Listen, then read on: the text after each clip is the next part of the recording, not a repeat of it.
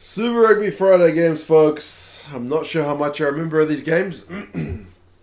I've been stuffed full of COVID since yesterday. Uh, thankfully, my wife and I got it about a week apart. So, yeah, when I was out for the count, she's looking after the kids, and when she was out earlier in the week, that was my job. Um, but yeah, Blues and Highlanders, Rebels and Brumbies.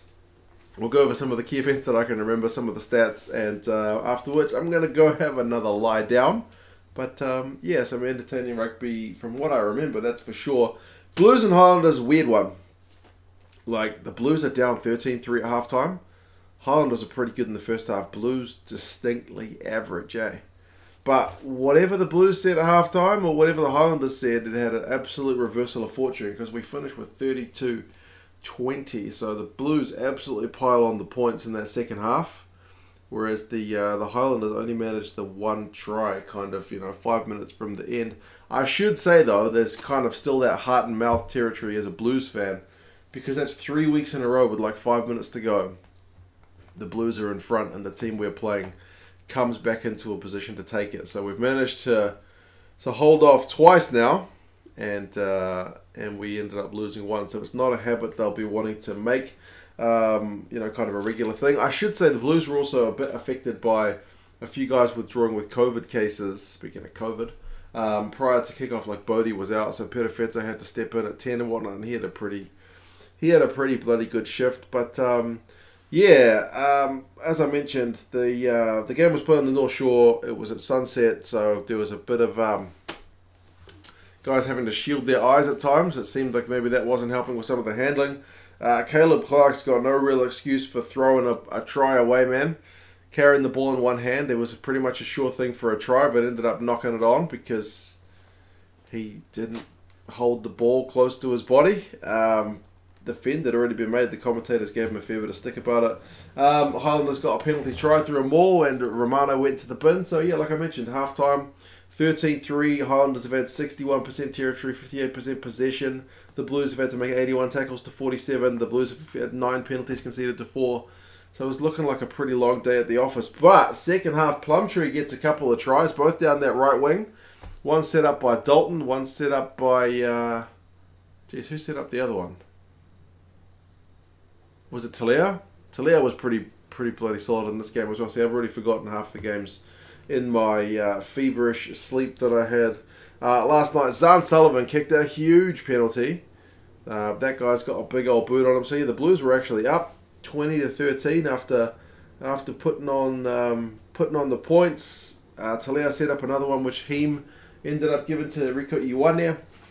Um, as I mentioned, the the Highlanders did come back with one through Frizell which was a bit too soft, eh? He just kind of burst straight on through. To make it game on, 25 points to 20. But um, yeah, the Blues ended up scoring one through Perofeta at the death. So yeah, the game went like 90 minutes. They played an extra 10, both sides chasing another try. Like the Blues trying to get a bonus point try, and the Highlanders trying to get back within seven. But neither side was able to get it done eventually. It looked like Clarke had one, eh? They um they said there was a high tackle in the build up. So yeah, they um they chalk one off. So yeah, no bonus point for either side. But as a Blues fan, I'm just pretty happy they came back in that second half. Um, and despite despite disruptions, they did all right. Run meters finished 519 to 278 to the Blues. Blues have more territory, 58%. Positions kind of even 48 52 with the Highlanders edging up. A second half territory is 75 25. So the Blues all over the Landers. Um, clean breaks is 8 to 4 to the Blues. Turnovers conceded is 17 11 to the Blues, so a bit sloppy. Um, Blues tackling is 91%, which is massive. The Highlanders are 87, which is not bad. Both sides make a similar number of tackles, but boy, that penalty count 18 to 8 with the Blues on the wrong side of the ref's whistle. So, yeah, Landers have still got a few things to work on. Their line out is pretty ordinary. Um, 12 from 17 for them. Um, certainly some bright spots.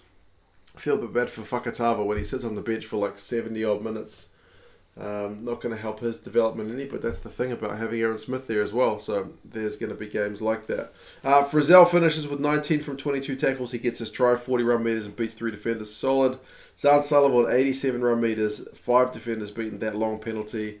Uh, Telea, like I mentioned, was everywhere. So happy days for the Blues. They came right in the end. They're away to the Crusaders next, which could be pretty hairy. Uh, the Highlanders are at home to Moana Pacifica. The Blues are 2 and 1. They're in fourth. The Highlanders are none from four. They are in 10th. The other game was the Rebels and the Brumbies, 36 points to 17. The Brumbies never really looked like losing this one. Uh, the, the Rebels did manage to score a couple of nice tries, but the Brumbies just, at times, uh, ran riot. Um, it's a weird one though as well because from what I remember, the Rebels were kind of knocking on the door for quite some time early on. Couldn't get any points, and then Rob Valetini, first chance the Brumbies get, he just storms over for a try. And then it's very similar with the Ikitau one later. Like the Brumbies would just go down the other end and score after being seemingly under the pump for a wee bit. So yeah, it was 12 points to nil. The Rebels did manage to kind of stop the rot with um, a 12 a penalty to make it 12-3. Um, Vaihu got a, a yellow card for a clumsy challenge on Tom Banks in the air, but the Brumbies ended up getting was it three yellow cards in this game? They certainly got two uh, towards the end of the game. It finished 15-13. Um, but yeah, man. Um, other tries for for the Brumbies. Tom Wright got a couple out on the right wing. One of those um, little dink throughs from Tom Banks just set up for him perfectly. Um, Tom Banks got one of his own. Jerome Brown had a weird one where he just kind of burst through a mall and nobody was there to stop him. Uh, Eloff got one for the Rebels, and um, Hardwick got one. He sold a dummy on Jesse Mogg to kind of get a bit of a consolation one. But yeah, ultimately, the Rebels, I mean, they were 17 3 down at halftime and then 36 17 at full time. So at least they managed to score a couple of tries in that second half, but it's still just not going right for them. I mentioned Nick White got a yellow card as well. So yeah, 15 v 13 at the death. You would have thought the Rebels might have been able to score. Not to be. James Slipper put in a pretty sweet assist for the Tom Banks try. Um, he should have been a fly half, judging by that pass of his. But yeah, just kind of another day at the office, eh? For the Brumbies for this one. And the Rebels winless run goes on. I mean, stats wise, run meters 331 to 451. That's actually not too bad reading uh, for the Rebels. Um, turnovers conceded 14 12 is kind of tight.